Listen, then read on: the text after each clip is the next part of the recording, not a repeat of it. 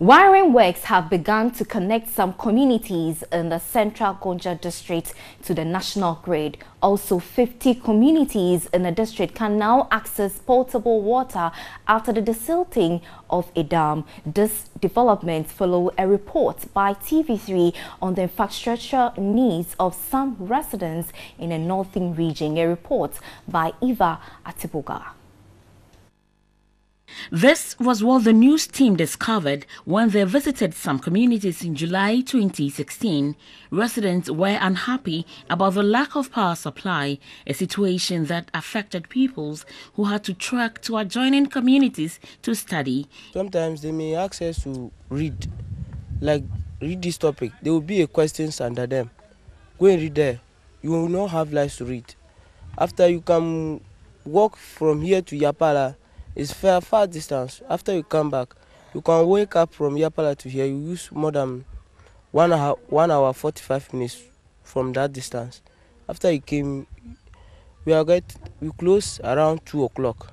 By the time you reach, you reach here around four forty five or four going five.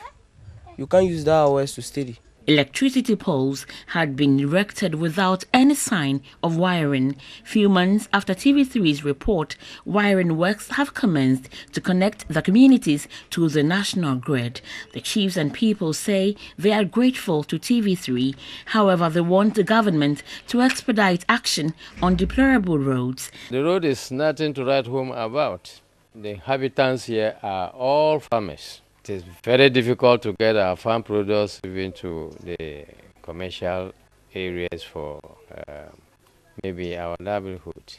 Some residents at Kusawgu can heave a sigh of relief after TV3 reported on the poor state of a dam that serves as source of water for over 50 communities.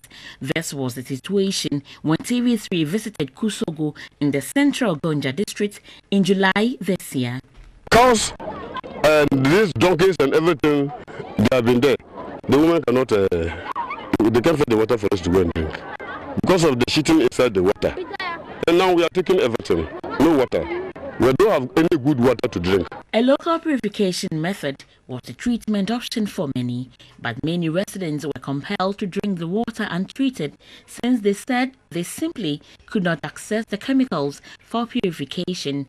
They complained and were treated for waterborne diseases.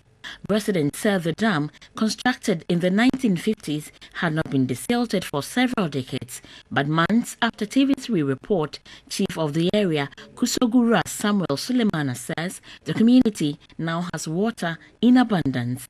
When the report was presented to you some few weeks, the district assembly brought some uh, a caterpillar. I also went and hide another one. So there were two in the uh, river and they did it well.